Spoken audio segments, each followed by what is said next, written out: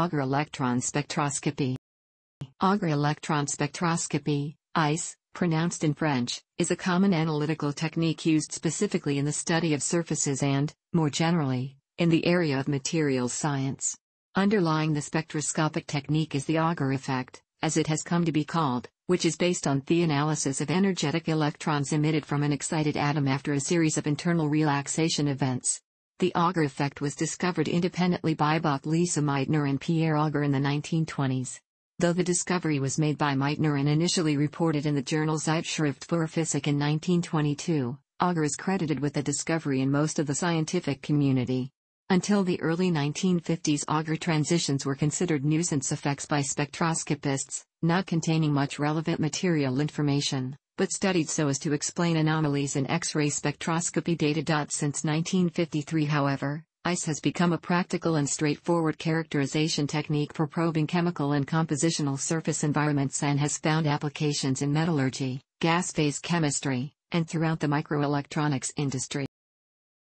The Auger effect is an electronic process at the heart of AES resulting from the inter and intrastate transitions of electrons in an excited atom. When an atom is probed by an external mechanism, such as a photon or a beam of electrons with energies in the range of several up to 50 keV volts, a core state electron can be removed leaving behind a hole. As this is an unstable state, the core hole can be filled by an outer shell electron, whereby the electron moving to the lower energy level loses an amount of energy equal to the difference in orbital energies. The transition energy can be coupled to a second outer shell electron, which will be emitted from the atom if the transferred energy is greater than the orbital binding energy. An emitted electron will have a kinetic energy of where formula underscore 2, formula underscore 3, formula underscore 4 are respectively the core level, first outer shell, and second outer shell electron binding energies measured from the vacuum level, which are taken to be positive.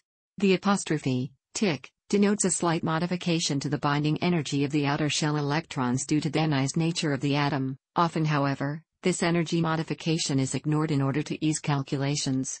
Since orbital energies are unique to an atom of a specific element, analysis of the ejected electrons can yield information about the chemical composition of a surface. Figure 1 illustrates two schematic views of the Auger process.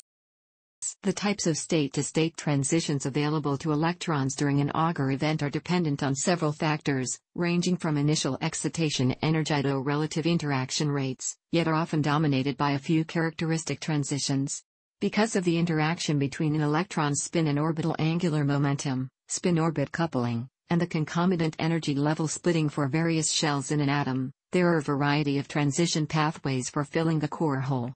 Energy levels are labeled using a number of different schemes such as the JJ coupling method for heavy elements, Z greater than or equal to 75, the Russell-Saunders LS method for lighter elements, Z less than 20, and a combination of both for intermediate elements. The JJ coupling method, which is historically linked to X-ray notation, is almost always used to denote Auger transitions. Thus for a formula underscore 5 transition, K represents the core level hole, formula underscore 6 the relaxing electron's initial state, and formula underscore 7 the emitted electron's initial energy state. Figure 1b illustrates this transition with the corresponding spectroscopic notation. The energy level of the core hole will often determine which transition types will be favored. For single energy levels, i.e.k., transitions can occur from the L levels, giving rise to strong KLL type peaks in an Auger spectrum. Higher level transitions can also occur, but are less probable. For multi-level shells, transitions are available from higher energy orbitals, different n, L quantum numbers, or energy levels within the same shell, same n, different L number. The result are transitions of the type LMM and KLL along with faster Koster-Kronig transitions such as LLM. While Koster-Kronig transitions are faster, they are also less energetic and thus harder to locate on an Auger spectrum. As the atomic number Z increases, so too does the number of potential Auger transitions. Fortunately, the strongest electron-electron interactions are between levels that are close together, giving rise to characteristic peaks in an Auger spectrum. KLL and LMM peaks are some of the most commonly identified transitions during surface analysis. Finally, valence band electrons can also fill core holes or be emitted during KVV-type transitions. Several models, both phenomenological and analytical, have been developed to describe the energetics of Auger transitions. One of the most tractable descriptions, put forth by Jenkins and Chung, estimates the energy of Auger transition ABC as Formula underscore 9 are the binding energies of the formula underscore 10th level and element of atomic number Z and formula underscore 11 are the energies of the same levels in the next element up in the periodic table.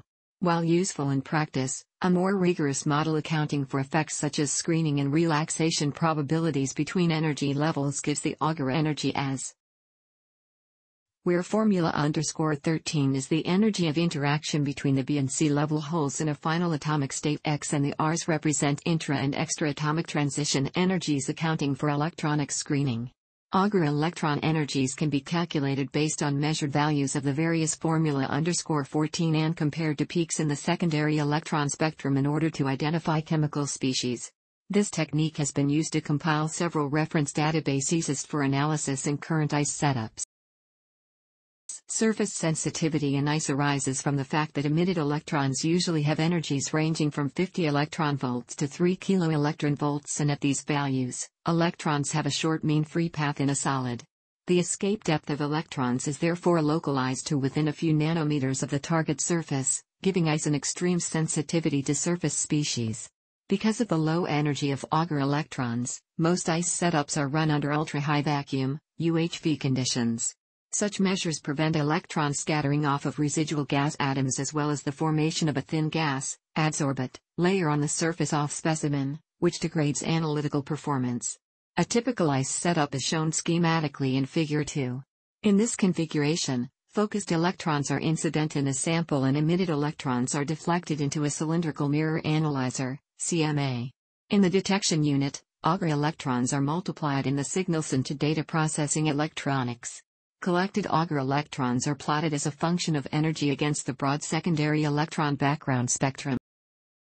Since the intensity of the Auger peaks may be small compared to the noise level of the background, AES is often run in a derivative mode that serves to highlight peaks by modulating the electron collection current via small applied AC voltage.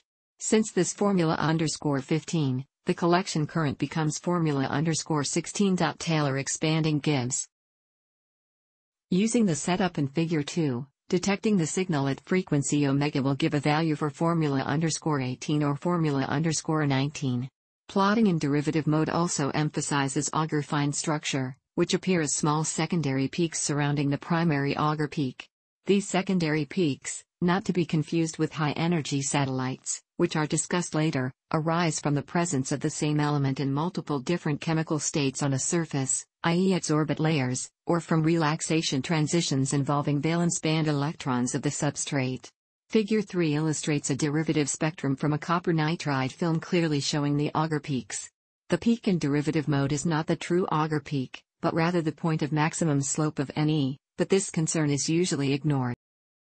Semi-quantitative compositional and element analysis of a sample using AES is dependent on measuring the yield of Auger electrons during a probing event. Electron yield, in turn, depends on several critical parameters such as electron impact cross-section and fluorescence yield. Since the Auger effect is not the only mechanism available for atomic relaxation, there is a competition between radiative and non-radiative decay processes to be the primary to excitation pathway. The total transition rate, omega, is the sum of the non-radiative, Auger, and radiative, photon emission, processes. The Auger yield, formula underscore 20, is thus related to the fluorescence, X-ray, yield, formula underscore 21, by the relation where formula underscore 23 is the X-ray transition probability and formula underscore 24 is the Auger transition probability. Attempts to relate the fluorescence and Auger yields to atomic number have resulted in plots similar to figure 4. A clear transition from electron to photon emission is evident in this chart for increasing atomic number. For heavier elements, X-ray yield becomes greater than Auger yield, indicating an increased difficulty in measuring the Auger peaks for large Z values. Conversely, AES is sensitive to the lighter elements, and unlike X-ray fluorescence, Auger peaks can be detected for elements as light as lithium, Z equals 3. Lithium represents the lower limit for AES sensitivity since the Auger effect is a three-state event necessitating at least three electrons. Neither H nor He can be detected with this technique. For K-level based transitions, Auger effects are dominant for Z less than 15 while for L and M level transitions, AES data can be measured for Z less than or equal to 50. The yield limits effectively prescribe a cutoff for AES sensitivity, but complex techniques can be utilized to identify heavier elements, such as uranium and americium, using the Auger effect. Another critical quantity that determines yield of Auger electrons at a detector is the electron impact cross-section.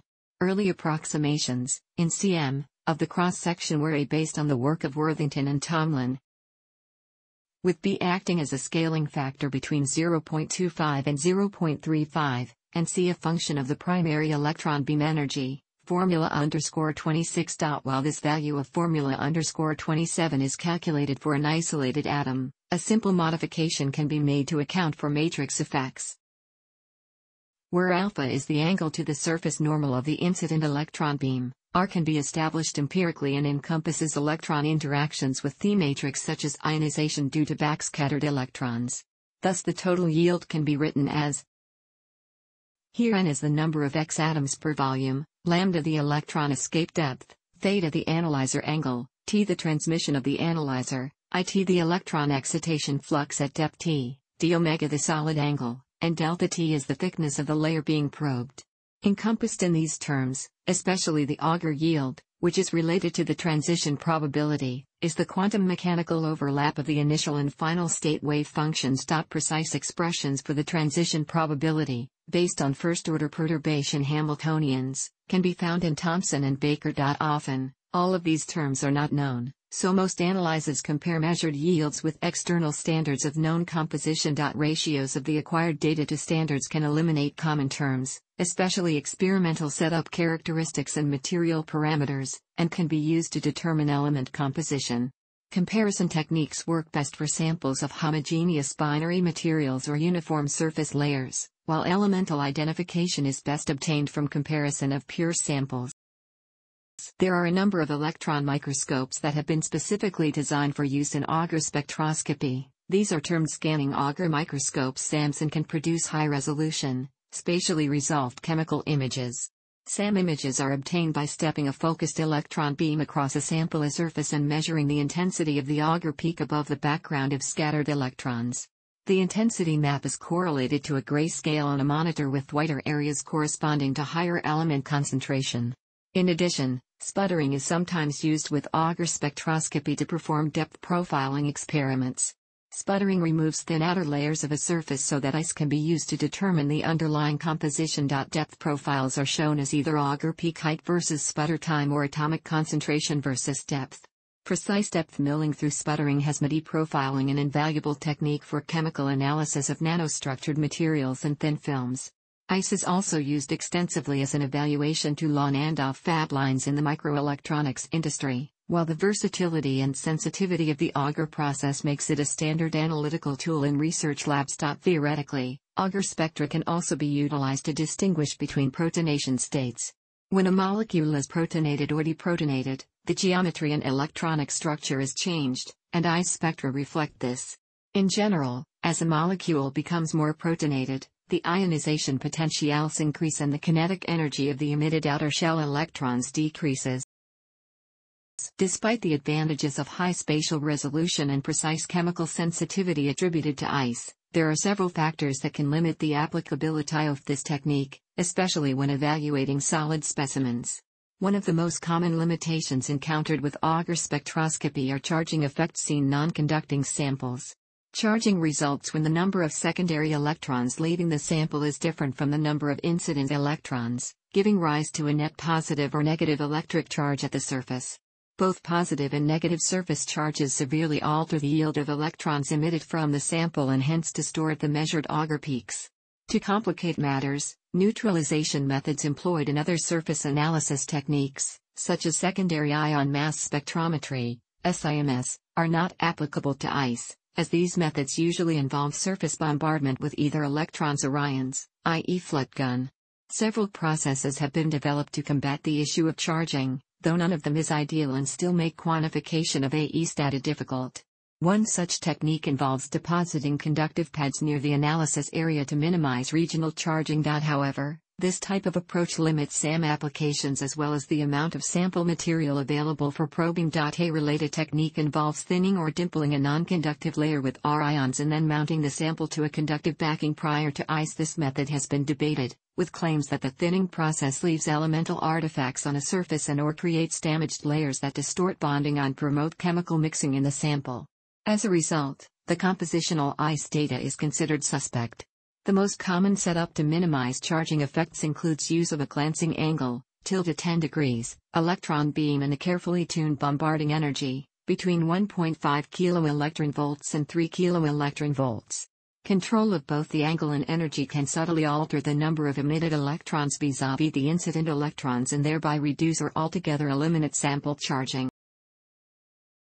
In addition to charging effects, AES data can be obscured by the presence of characteristic energy losses in a sample and higher-order atomic ionization events. Electrons ejected from a solid will generally undergo multiple scattering events and lose energy in the form of collective electron density oscillations called plasmons. If plasmon losses have energies near that of an Auger peak, the less intense Auger process may become dwarfed by the plasmon peak. As Auger spectra are normally weak and spread over many eV of energy, they are difficult to extract from the background and in the presence of plasmon losses, deconvolution of the two peaks becomes extremely difficult. For such spectra, additional analysis through chemical sensitive surface techniques like X-ray photoelectron spectroscopy, XPS, is often required to disentangle the peaks. Sometimes an Auger spectrum can also exhibit satellite peaks at well-defined offset energies from the parent peak.